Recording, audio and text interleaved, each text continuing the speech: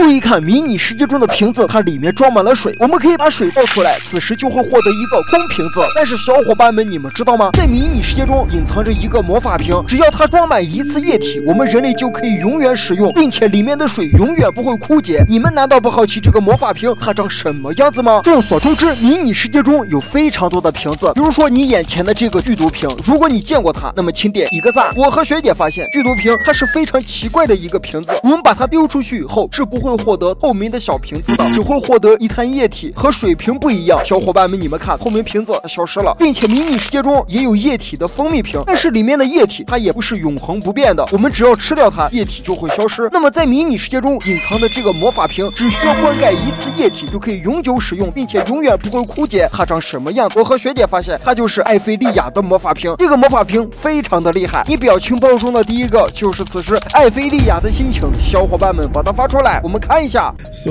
小伙伴们仔细看，它的这个魔法瓶很神奇，里面是葡萄汁，但是永远都倒不完。官方大大说这里面装满了葡萄汁，但是很奇怪，它永远使用瓶子都不会枯竭。所以说在迷你世界中，比我们普通瓶子更加厉害的就是艾菲利亚的魔法瓶，因为里面的液体永远不会枯竭，可以随意使用。你们知道了吗？